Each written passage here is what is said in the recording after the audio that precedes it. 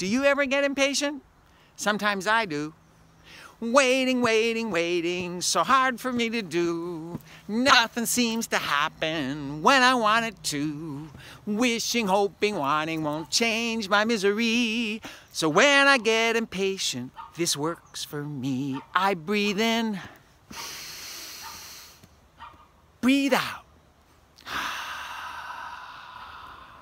Wiggle and squiggle my shoulders, shake the crazy's all about, and then I count one, two, three, four, five, to ten, six, seven, eight, nine, ten. And if I'm still impatient, I do it all again. One, two, three, four, five, six, seven, eight, nine, ten. That's better.